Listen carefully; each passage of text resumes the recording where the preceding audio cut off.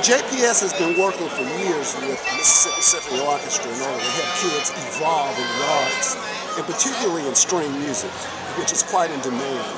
And uh, many kids have gained scholarships and gone on to be very successful, not necessarily as professional musicians, but also as scholarship money to help them go into other subjects.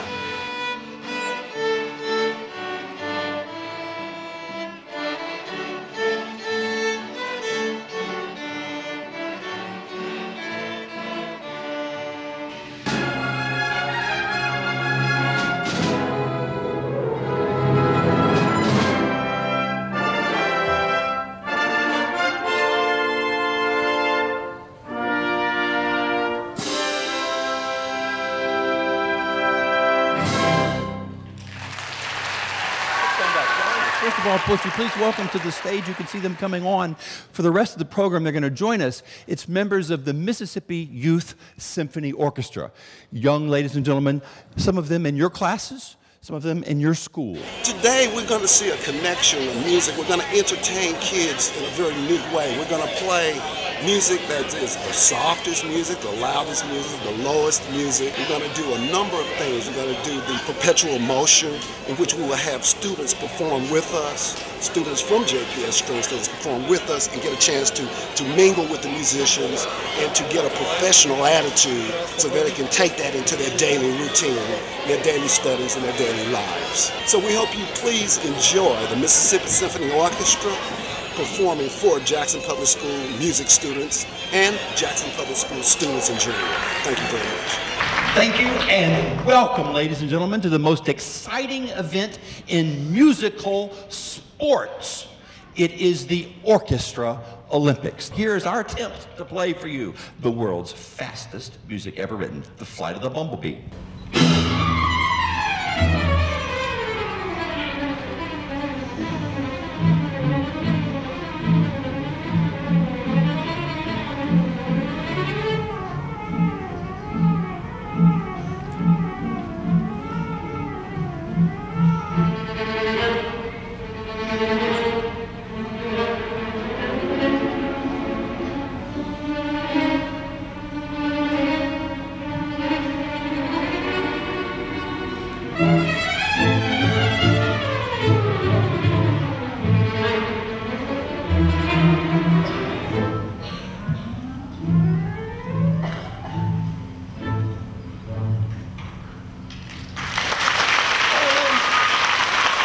So music can be very beneficial because universities all over the country are looking for students to perform and play and contribute to their program.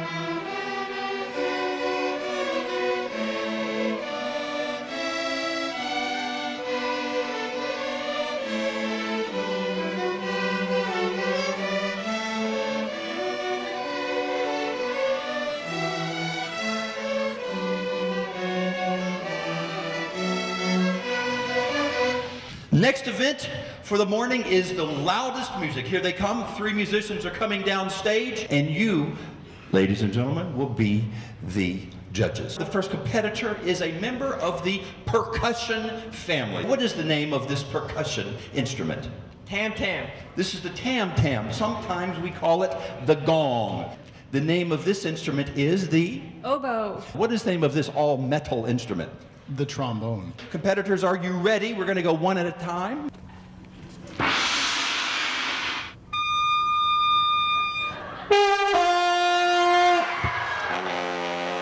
The trombone. All right, ladies and gentlemen, you are now going to be the judge. I do believe the trombone has won the competition this morning for loudest music. Ladies and gentlemen, it is now our pleasure to present for you the loudest piece of music ever written for symphony orchestra.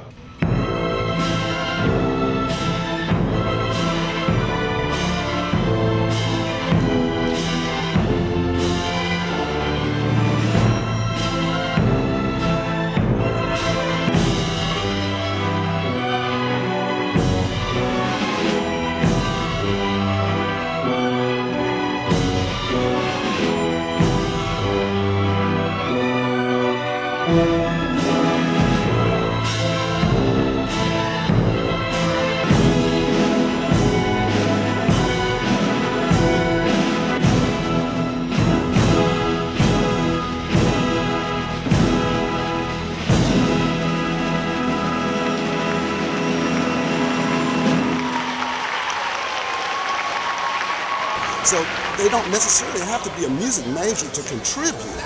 So that's one of the links that we have here in Jackson Public Schools. I try to follow my students up and try to make sure that they achieve as much as possible, no matter what field they're in, and we try to use music to help them to do that.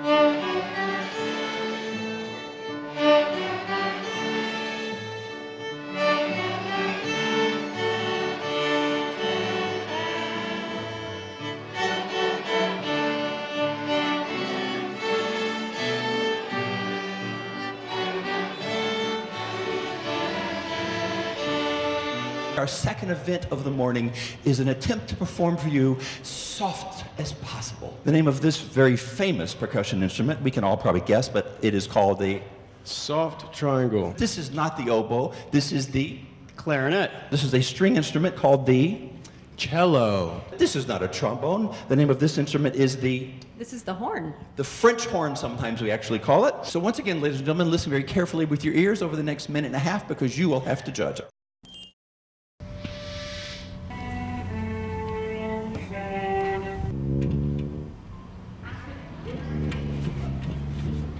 Wow. I do believe the French horn has won the competition for the quietest music of the morning. The softest music, the quietest music ever written for symphony orchestra.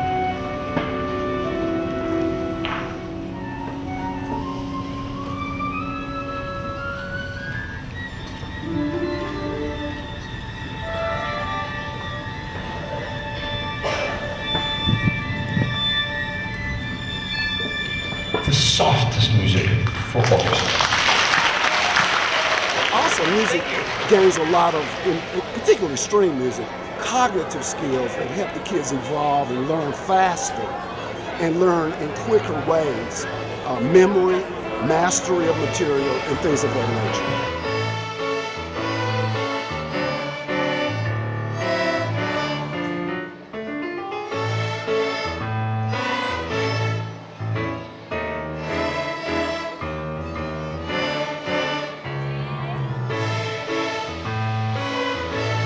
We are now going to perform for you the slowest music ever written for an orchestra. It is called the Turtle.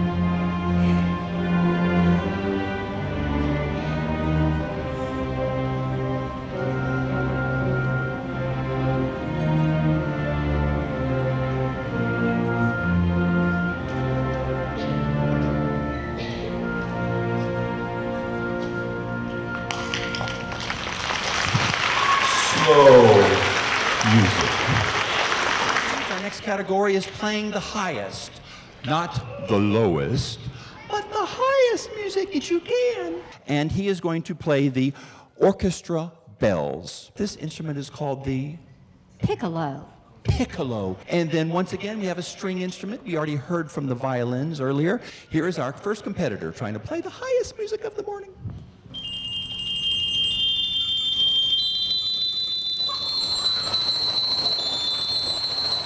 That's as high as he can go.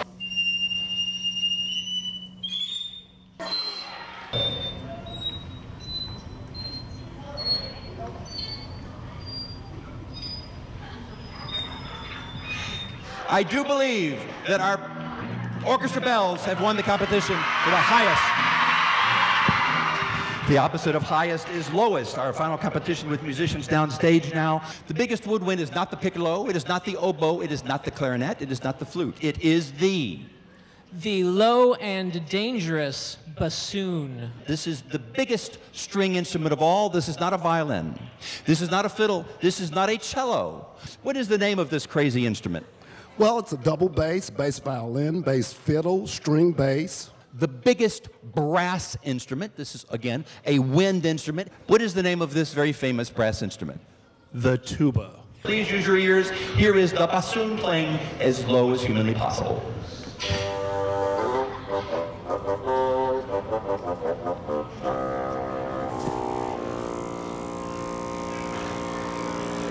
I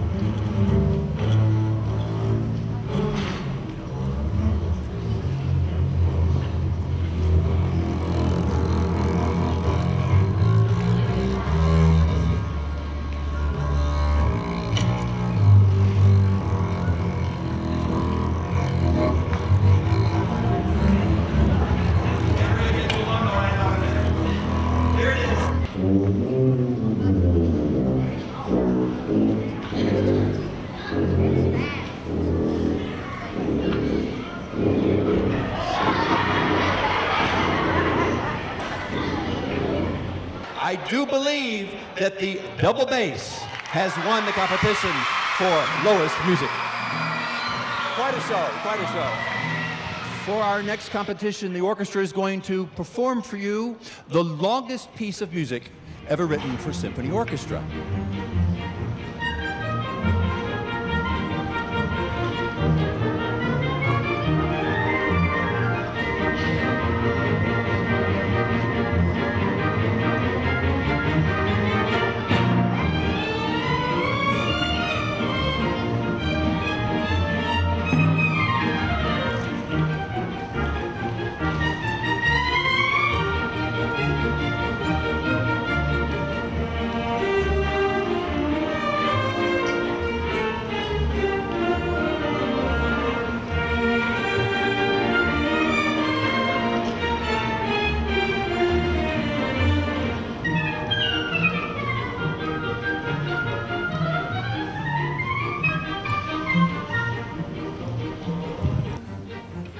So see, it goes on forever. But we must go. We're going to end our version of perpetual motion right there by getting off of our merry-go-round. We're going to now play what we think is the scariest piece of music ever written for orchestra. Here's a piece called A Night on Bald Mountain.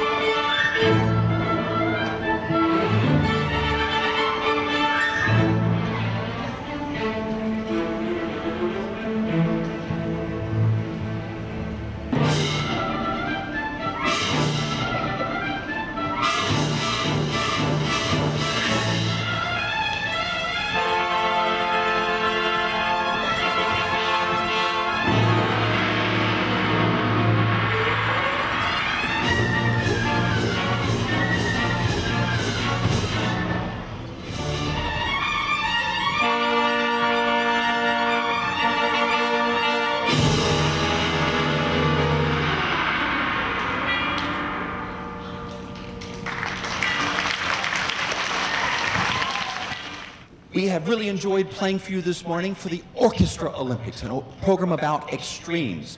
We have, with your help, explored the events, highest, lowest, longest, fastest, slowest, and so on and so forth. And in the course, we've also gotten to know a lot of the instruments in the orchestra.